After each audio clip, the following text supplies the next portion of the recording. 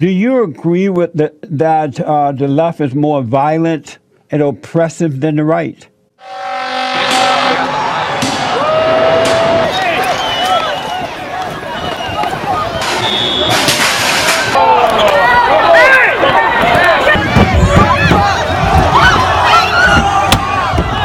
No, I don't, Jesse. And why not?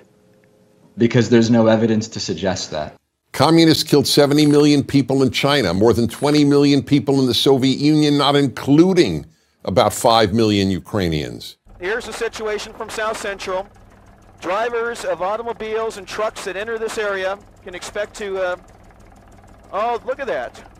Terrible. And there's no police presence down here. They will not enter the area. This is attempted murder. So you have not seen the violence and protest, for example, on the inauguration day of President Donald Trump. There were uh, violence. Uh, people were set in at least one car, limousine was set on fire uh, there in Washington, D.C. and other areas. Was that, did you see that violence? I I feel like this is a clinic in logical fallacies. Do you understand how Did you pointing see to that one happen? incident of violence does not allow us to make any generalizations about whether liberals or conservatives have a higher or lower tendency towards violence? Is that again conceptually is Do that you something remember you when? Do you remember when the Tea Party rallies were happening? I, I generally remember. Yeah, There, there were no violence.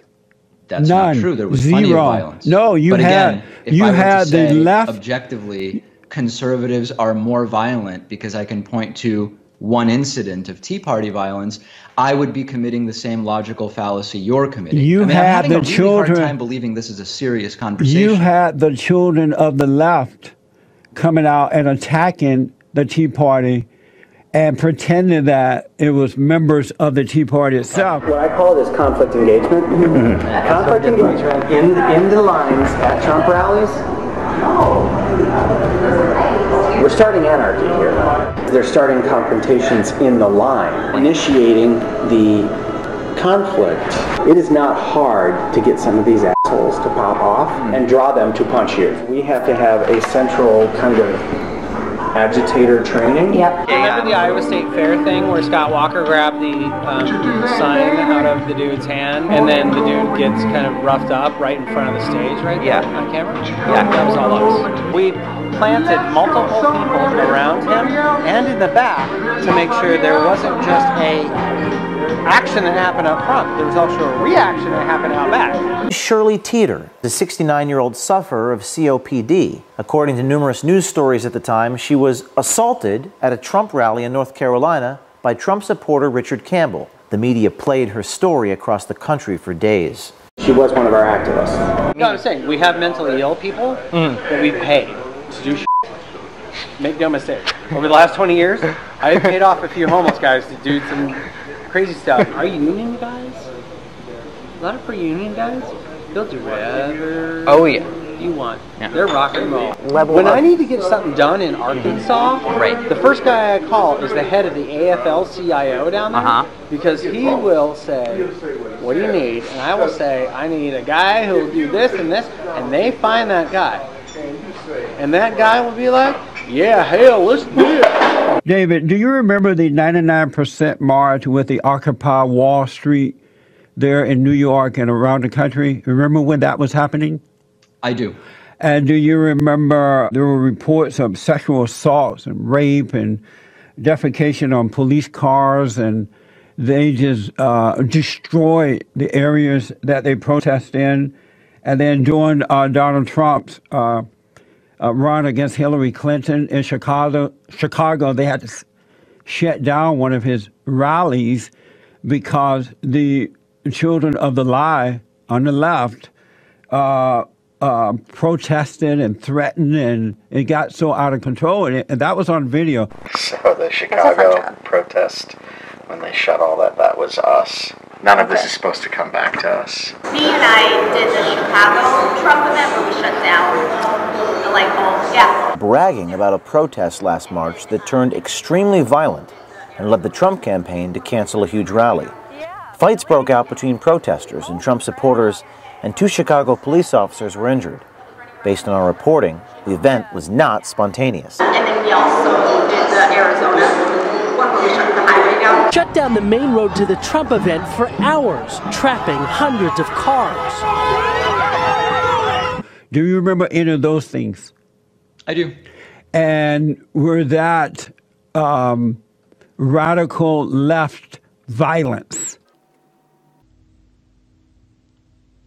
What, have what's, have what's you ever sure have you seen anyone on the right carry on in that manner?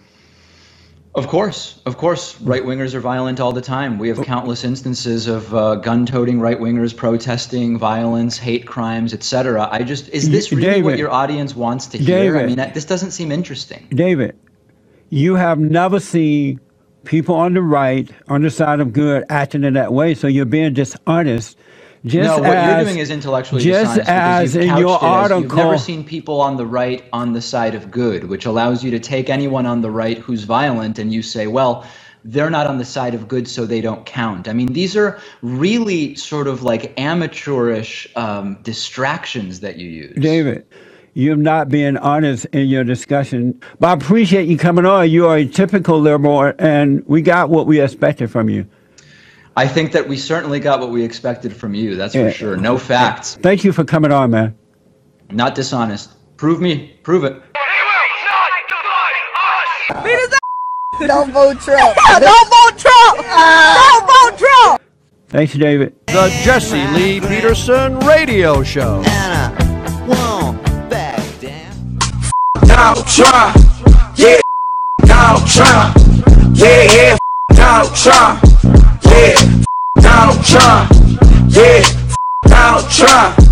yeah, Donald Trump, yeah, yeah, Donald Trump, yeah. I like white folks, but I don't like you. All the in the hood wanna fight you. Yeah, that's one of those white boy Trump supporters. The guy said, Don't worry about it, we're gonna beat his ass. And then punches were thrown, and the next thing I know, I had five people on me, and I was kicked in the head. They were in my car, stealing all my stuff. I tried to go to the car. I got hit some more, and he took off. He was doing 70 or 80 down Roosevelt, swerving.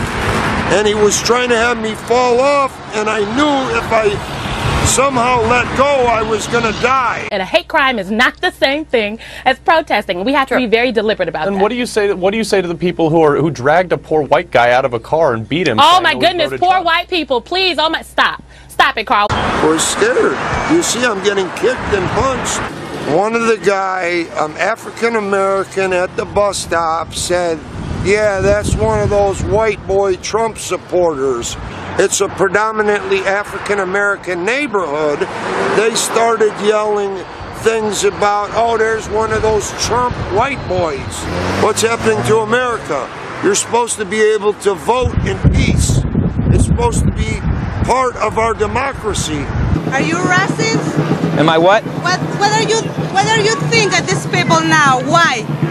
Why you stay here? Are you racist? Am I racist? Yeah.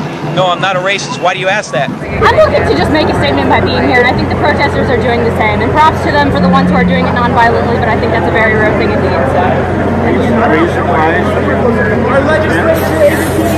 So I was watching over one of your uh, one of your more recent videos, and uh, with the Reverend guy, and he asked, you know, where's the violence in the right wing? And I just happened to think, you know, with the Bundy Ranch incident, then the t- government takeover incident, and then there was uh, actually a couple of cops that got uh, shot and killed by a right winger just down south in Iowa. Why do you think it is that the uh, police department seem to align more with the uh, right wing uh, more than the left wing? and f- the police. Say whatever the f- you want to say. Now this is the real Valerie Castile. I don't give no f- no more. Don't let this white man tell you that violence is wrong. Every damn thing that he got, he got it by being violent. 100% of revolutions, victims fighting their oppressors, victims fighting their bullies, have been successful through bloodshed. Zero have been successful just over simply protesting. The real ones, the alpha ones, we know what it's going to take revenue and blood. Revenue and blood. Revenue and blood. Do what you do. If I had it my way, it's on and cracking. But here in Minnesota, this cracker Bama ass motherfucking state, these motherfuckers. I hope that motherfucker die tonight. Cause it's 187 on an undercover cop. So ain't nobody gonna perform for Donald Trump, huh? Which one of you jigaboo ass niggas gonna be the first one to do it? I'm waiting. I'm gonna roast the out one of you Uncle Tom ass for doing it. Which one of you niggas gonna do it first? I's the one that performs for himself.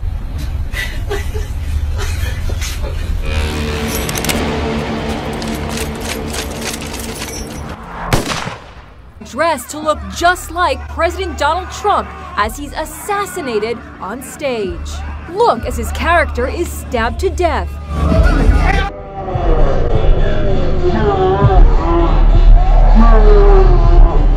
His white dress shirt soaked in blood. I don't think it's disrespectful for the president to be murdered on stage. The audience applauded with a standing ovation. Freedom. Stop the normalization of political violence against the right. This is unacceptable. You cannot. Get off the stage. All right, ladies and gentlemen, we're going to pause. You are inciting terrorists. The blood of Steve Scalise is on your hand.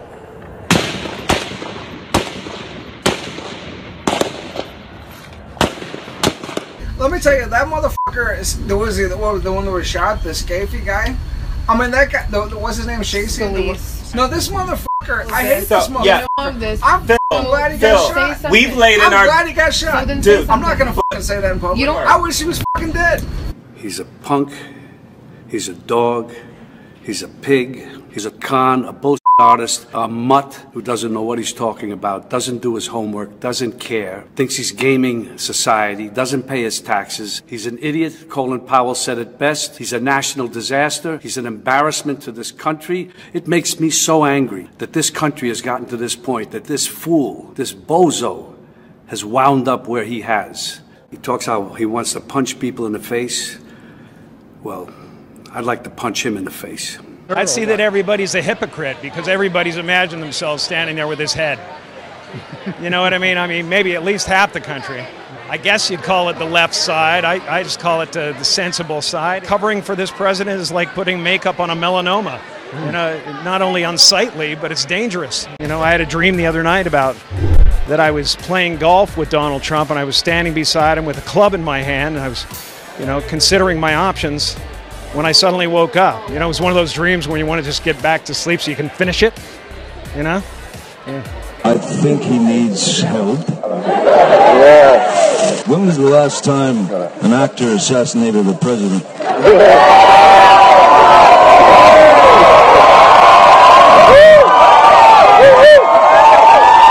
When was the last time an actor assassinated a president?